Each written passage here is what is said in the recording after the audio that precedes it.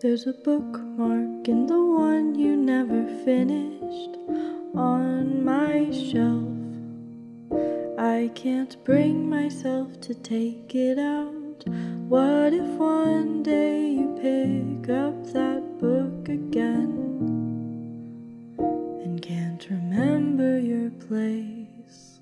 But it's been long enough and you've been gone that I should know by now. I think it's safe to say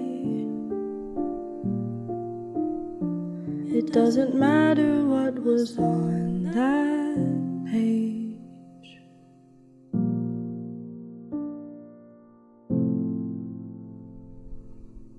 And I don't want this to feel like a eulogy, cause you're far from dead.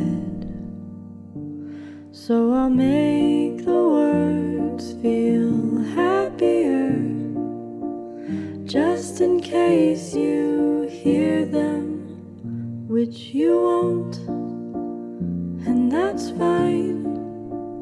Probably better off after all of this time,